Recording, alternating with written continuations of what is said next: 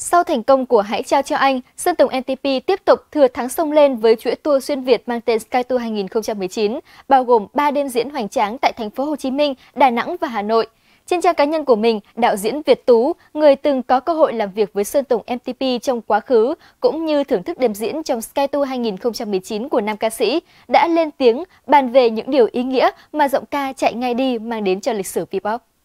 Theo vị đạo diễn nổi tiếng hồi tưởng, khi lần đầu tiên biết đến Sơn Tùng vào năm 2012, nam ca sĩ vẫn còn là một cái tên vừa mới bật lên của làng nhạc Việt Nam. Thứ âm nhạc mà Sơn Tùng theo đuổi là underground, một loại nhạc cũng chẳng phải được quá nhiều người biết đến. Và sau bao nhiêu năm trôi qua, Sơn Tùng MTP giờ đây đã trở thành nam ca sĩ Việt đầu tiên fit được với ngôi sao từng đạt giải Grammy, cũng như sở hữu top 1 trên Billboard thế giới. Trước Tùng, chưa có ai làm được điều này, nhưng sau Tùng, toàn bộ giới underground sẽ tiếp tục cột mốc lịch sử hôm nay với những quy mô không giới hạn, đúng như sự điên rồ và tươi mới trong âm nhạc của họ, đạo diễn Việt Tú bình luận. Trong bài viết này, vị đạo diễn nổi tiếng cũng không quên hé lộ rằng sắp tới, lượng event của Sơn Tùng sẽ tăng lên đến hàng tỷ đồng, một con số mà đến cả những tên tuổi gạo cội cũng chưa chắc đã đạt được. Đạo diễn Việt Tú còn không quên để lại lời nhắn nhủ đến người em đồng nghiệp thân thiết khiến anh đôi lúc cũng phải ngưỡng mộ và nể phục. Chúc mừng em, MTP,